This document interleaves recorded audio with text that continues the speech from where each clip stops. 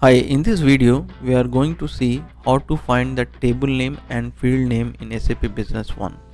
In SAP Business One there are various transactions that gets recorded in various module.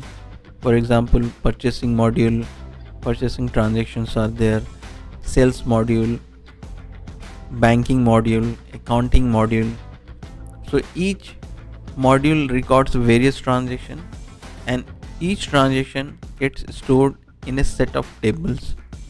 So in order to extract the data in order to query the SAP business one data we must know where the data is getting stored which table is storing what transaction and what are the fields what are the data points that is getting mapped to that field. So in SAP business one it is very simple to find the table name and the field name of the various transactions. So let us log into SAP Business One and show you how you can find the table name and field name of, of the various transactions.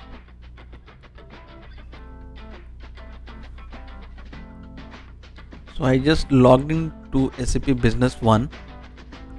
So I am using SAP Business One 10 version for SAP HANA so this is the version of SAP Business One that I logged in.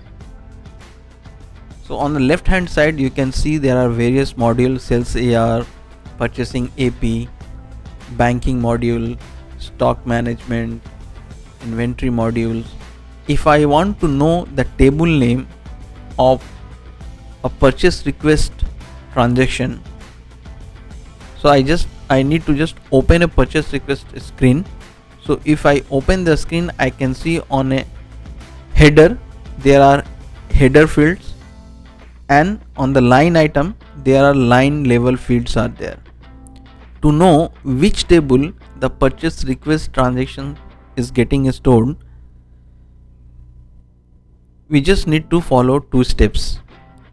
First I have to go and enable the system information in order to do that I have to navigate to the view option and under the view there is an option called system information.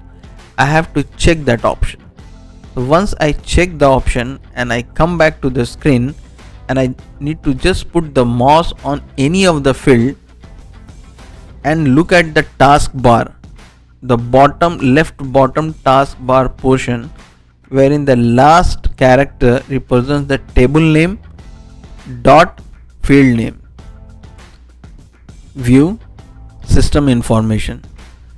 So that system information has to be ticked. And now if I take the mouse on the field I can see at the bottom the the table name and field name. So if I just take a screenshot and put it into the paint in order for you to understand properly what I am trying to highlight here so you can see at the bottom the last four character is the table name dot field name. So this is the area which I am highlighting here to look at when you are placing the mouse on the field. So this this is the four character which I am highlighting here is a table name. O P R Q is a header table name because I have put the mouse on the document number field. So the header table which is shown here is OPRQ dot field name. Doc num I since I place the mouse on the doc num field so this is a doc num the name of the field. So when I want to extract the document number I need to query the OPRQ dot document num. So this is how each and every fields are shown on the taskbar with the table name.